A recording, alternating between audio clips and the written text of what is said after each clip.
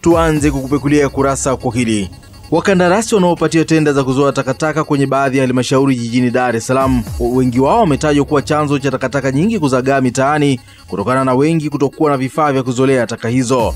Kurasa leo imepita katika baadhi ya mitaa jiji hilo, ukiwemo mtaa wa Msisiri B Mwananyamala, ambapo uongozi wa mtaa huo umeeleza namna ambavyo mkandarasi ameshindwa kuzoa taka na kusababisha adha kubwa kwenye mtaa licha ya wananchi kulipa ada zao za taka. Amesema mkandarasi wa kuzoa taka tangu mwezi wa saba hajapita kuchukua taka hizo, hivyo kusababisha mitaa kuwa kero kubwa, akimwomba mkurugenzi wa manispaa ya Kinondoni kuangalia upya utendaji wa mkandarasi huyo kwa mtaa wa Msisiri B Mwananyamala. Kwa kweli sisi wananchi wa mtaa wa Msisiri B tunajitahidi sana kuhamasisha watu wetu wachangie hasa michango ya taka, lakini wanajitahidi kuchanga, lakini magari ya taka hayapiti.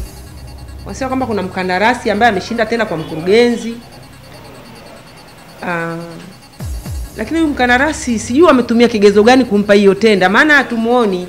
Akiahidi kuja Jumanne haonekani, Jumatano haonekani.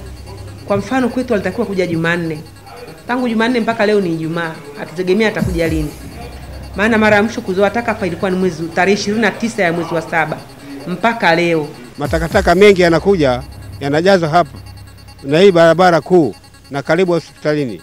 Kwa hiyo tunaomba wakandarasi hawa wafanye kila juhudi watoe ucha, uchafu huu hapa. Wakati huu huo, viongozi wa mtaa huo umewakumbusha wananchi kupita katika ofisi za mtaa huo kuchukua vitambulisho vyao vya taifa ambavyo viko tangu mwaka 2014. Pia tunawakumbusha wananchi wote jamani, ambao hawana vitambulisho vile vya taifa ambavyo vilitoka 2014 bado viko hapa ofisi ya serikali ya mtaa, wafike kuangalia vitambulisho vyao.